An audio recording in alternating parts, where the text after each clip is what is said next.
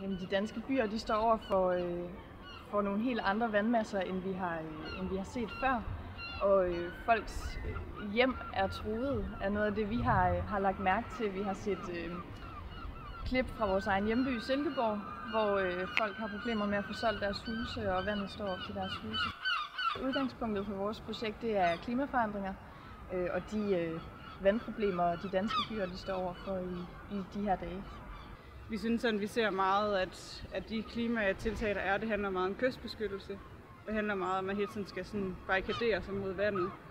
Øhm, og jeg synes egentlig, eller vi har snakket om, at tit så, øhm, så handler det, altså så er det måske lidt de samme tiltag, man ser mange steder. Altså det er lidt den samme tilgang til det, man hele tiden har. Jamen, jeg kunne godt se mig selv arbejde med byplanlægning og, øh, og gerne noget med vand. Altså, jeg synes, det er helt vildt relevant, at vi finder nogle bedre løsninger for, hvordan vi øh, forholder os til alt det her vand, som presser sig mere og mere på i byerne.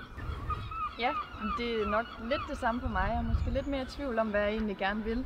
Men jeg er i hvert fald blevet grebet af vores øh, afgangsprojekt her, og klimaforandringer og de her nye tider, vi lever i, hvordan vi skal leve med vandet. Øh, ja.